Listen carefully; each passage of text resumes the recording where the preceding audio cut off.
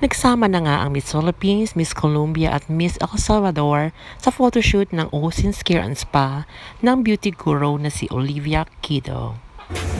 At merong nakakatuwang pasabog si Miss Colombia. Watch nyo! We're going to O Skin Med Spa for my photo shoot with Olivia Kido. Hi guys! And Miss Universe. Miss Universe. O ayan ha, kay Miss Colombia na galing mismo, yung Miss Universe. So, go Queen Rabia for Miss Universe crown. Tama ba siya? What you think guys? Thank you for watching.